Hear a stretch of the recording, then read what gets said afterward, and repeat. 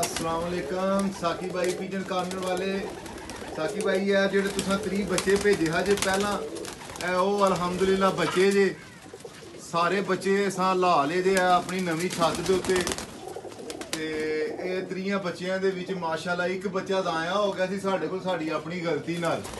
ਤੇ ਇਹ 29 ਬੱਚੇ ਬਿਲਕੁਲ ਸਾਡੇ ਕੋਲ ਤਿਆਰ, ਸਾਡੀ ਖੇਡ ਹੈ ਤੁਹਾਡੀ ਮਿਹਰਬਾਨੀ, ਤੁਹਾਡੇ ਘਰ ਦੇ ਬੱਚੇ ਆ। ਅਲਹਮਦੁਲਿਲਾ ਅਲਹਮਦੁਲਿਲਾ। ਬੜਾ ਮਜ਼ਾ ਦੇ ਰਹੇ ਜੇ ਤੇ ਸਾਡੇ ਸ਼ਰੀਕਾਂ ਨੂੰ ਤੇ ਜਿਹੜਾ ਵੇ ਨਾ ਉਹ ਤਕਲੀਫ ਹੋ ਗਈ ਕਿ ਕਿਹੜਾ ਸਾਕੀ ਭਾਈ ਇਹਨਾਂ ਨੂੰ ਲੱਭ ਕੇ ਆਵੇ ਕਿ ਜਿਨ੍ਹਾਂ ਨੇ ਇਹਨਾਂ ਦੀ ਖੇਡ ਬਣਾ ਦਿੱਤੀ ਏ। ਤੇ ਸਾਕੀ ਭਾਈ ਇਹਨਾਂ ਵਿੱਚ ਮਾਸ਼ਾਅੱਲਾ ਚਾਰ ਜਿਹੜੇ ਬੱਚੇ ਨੇ ਉਹ ਸਾਡੇ ਸਵੇਰ 10 ਵਜੇ ਡਾ ਕੇ ਤੇ ਰਾਤ ਬਾਹਰ ਰਹਿ ਕੇ ਵੀ ਆਏ ਨੇ। ਤੇ 10 ਬੱਚੇ ਜਿਹੜੇ ਐਸੇ ਨੇ ਕਿ ਜਿਹੜੇ ਸਾ 3-4 ਵਜੇ ਡਾਏ ਨੇ ਤੇ ਉਹ ਰਾਤ ਬਾਹਰ ਰਹਿ ਕੇ ਇਹ ਜ਼ੀਰਾ ਬੱਚਾ ਜਿਹੜਾ ਵੇ, ਤੁਹਾਡੇ ਇਹ ਘਰ ਦਾ ਜ਼ੀਰਾ ਬੱਚਾ ਜਿਹੜਾ ਵੇ।